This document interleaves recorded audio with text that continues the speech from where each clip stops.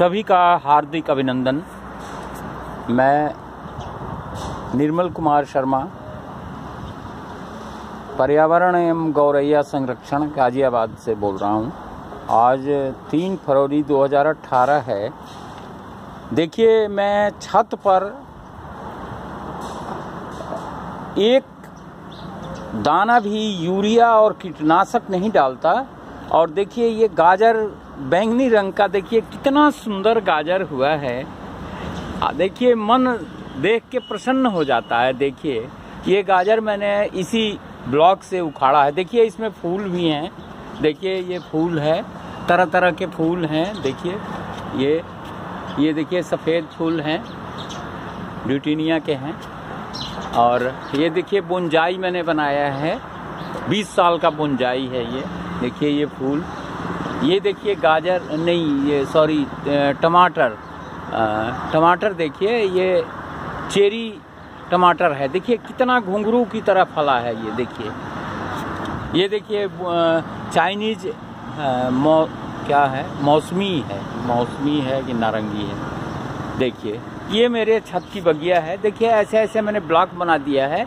देखिए, हर एक लगभग सारे ब्लॉकों में मैंने गाजर के बीज छिड़क दिए थे।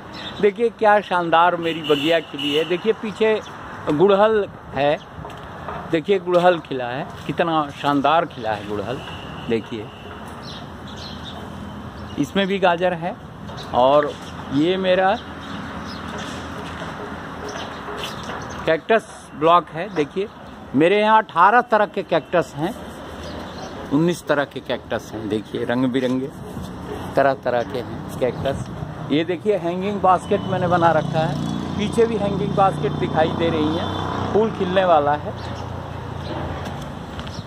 देखिए। ये देखिए, बुंजाई के पेड़।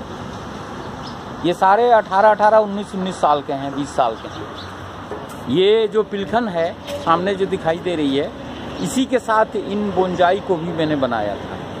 देखिए ये बोंजाई। कितना सुंदर प्यारा पौधा है। देखिए, ये फूल भी है और ये गाजर भी है।